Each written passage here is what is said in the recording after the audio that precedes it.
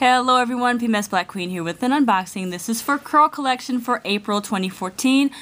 I'll put the, all, all, the information down below in case you would like to get Curl Collection. But the gist of it is it's um, a subscription box. This comes bi-monthly, so every other month.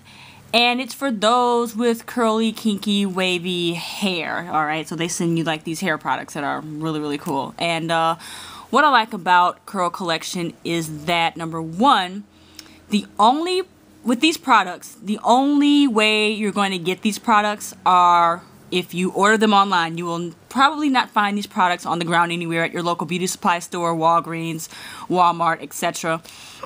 And second of all, you will always get full-size products. You will never get any samples. and um, I think that's really good. So that's what I like about this subscription. And without further ado, let's go ahead and get into it. This is what the box and the logo looks like. I have no idea what's in the box for this month. Usually they give out little hints and whatnot. And this is the card right here. And here is a little paragraph from the owner. And um, it talks about what's in the box and you can join them or you can find Curl Collection on several social media sites as you can see Instagram, Facebook, Twitter, Pinterest, and YouTube. So go ahead and check them out for further information. Alright, pink paper. Oh, this is awesome. This is Coco Curls. Alright, there's a little card here.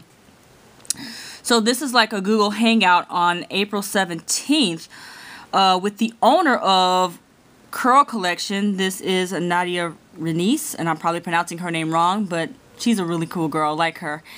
And this is Janelle Darden. I believe that Janelle is the owner and founder, CEO of Coco Curls. All right, so that's awesome with the Google Hangout. All right, this, and I've used Coco Curls products before. I've used their, the hair cream, um, the hair styling cream, which is awesome awesome awesome. This is what their logo looks like and I love it. I adore that logo. See that? Go to cococurls.com for more information. And what I received is 8 ounces of the moisturizing shining cream or the moisturizing styling cream rather. And you can also find Coco Curls on several social media sites as well Facebook Instagram YouTube Twitter, and Pinterest. And they've changed their packaging, and this is really cute. I like this. Here's the Coco Curl story right there, if you can read that. This product is cruelty-free, and I like that. It is not tested on animals. And here are some ingredients and how to use this product. Alright, next up we have, I know they've expanded their line too because they usually only had the styling cream, but now they've expanded to this shampoo. This is the hydrating shampoo. It is sulfate free. It's pH balanced. Also, as you can see, this is 8 ounces. Alright, and same information on the back about the Coco Curl story as well as ingredients in case anybody is interested in how to use this. Okay.